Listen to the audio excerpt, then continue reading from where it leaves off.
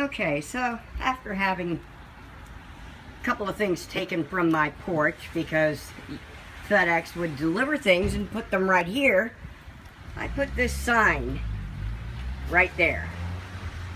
And so look what just was delivered, my sister's packages. Last year, my sister Leno's package was stolen because it was placed right here. And I hadn't known it. I cannot believe this. After my sign and everything, that they left them right here. And I just closed this gate. They left both the front gate and that gate open. So if I hadn't noticed that and I had opened the door, without realizing, quickly could have been out into the street.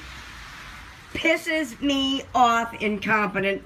This was such a simple thing, and I had a whole friggin' note right here. So, I'm ranting a bit right now.